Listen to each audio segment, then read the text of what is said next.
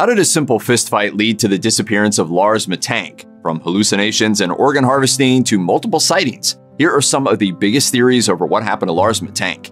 On July 8, 2014, 28-year-old German citizen Lars Mittank was at Bulgaria's Varna airport awaiting a flight back to Germany. Mittank reportedly stood up from his chair and shouted, I don't want to die here. I have to get out of here. Dropping all of his personal belongings to the floor, including his cell phone and wallet, Mittank began running and was never seen again. But what led up to his strange disappearance?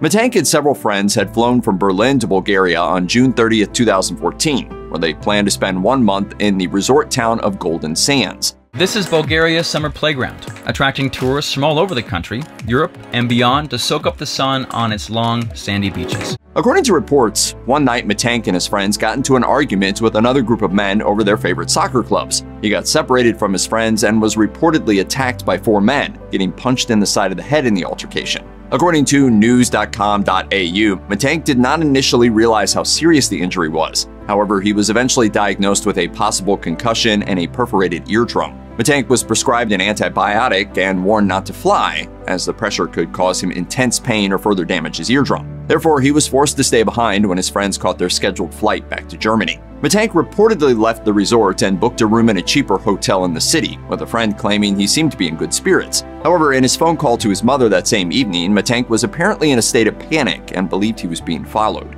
He also asked her to cancel his debit and credit cards because he was afraid of being robbed per Visica. Later that night and into the early hours of the next morning, surveillance cameras captured Mittank pacing the hotel foyer, peering out the windows and seemingly hiding inside an elevator.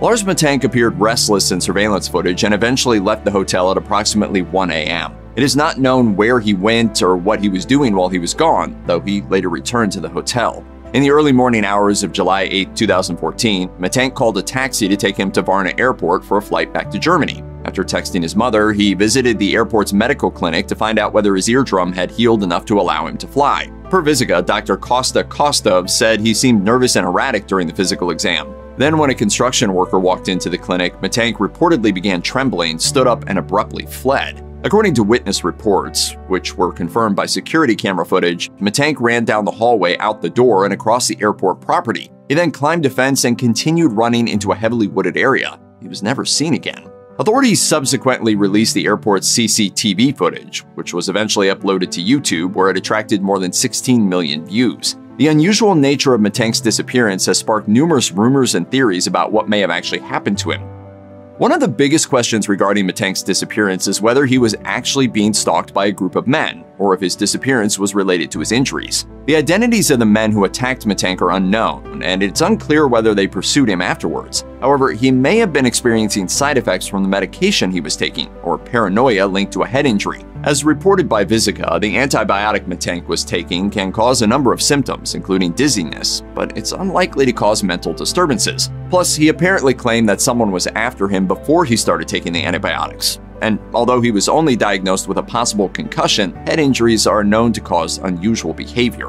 Another theory is that Mittank had a mental disorder. For example, paranoid schizophrenia can cause delusions that a person is being pursued or in imminent danger. However, his family claimed he did not have any history of mental illness, and nobody in his family has ever been diagnosed with schizophrenia. Other sources suggest Lars Mittank was a victim of human trafficking. Bulgaria is reportedly known to have one of the highest rates of human trafficking in Europe, many locals and tourists allegedly being taken against their will and forced into sex work, slavery, drug smuggling, or killed for their organs. Were the men who allegedly attacked Mittank involved in drug or organ trafficking and pursuing him for their trafficking ring? Like other transit routes, Bulgaria has its dangers. It's also been suggested that Mittank or his friends were working as drug mules, either voluntarily or forcibly. Authorities reportedly didn't find any drugs among his personal belongings. However, theorists suggest that Mittank may have stayed behind as some sort of insurance while his friends ran drugs back to Germany. Other theories suggest Mittank could have been hallucinating due to drugs, that he may have committed suicide due to mental illness, or that he planned his own disappearance and simply does not want to be found. Unfortunately, the lack of evidence in the case has made it impossible to know what really happened to him. Since his disappearance, there have been many alleged sightings of Mittank. In 2019, a truck driver picked up a man in Dresden, Germany and dropped him off in Brandenburg, which is close to Lars Mittank's hometown of Berlin. According to the Berlin Spectator, the truck driver believed that the man strongly resembled an older version of Mittank. Since he went missing, several law enforcement agencies, including Germany's BKA and Federal Criminal Police Office, have been working on Mittank's case. All the while, his mother has never given up hope of finding her son. The case has also gained a lot of interest on social media and has been featured on news programs in Bulgaria, Germany, and the United States. Unfortunately, a vast majority of the reported sightings have been ruled out, and no trace of Mittank has ever been found.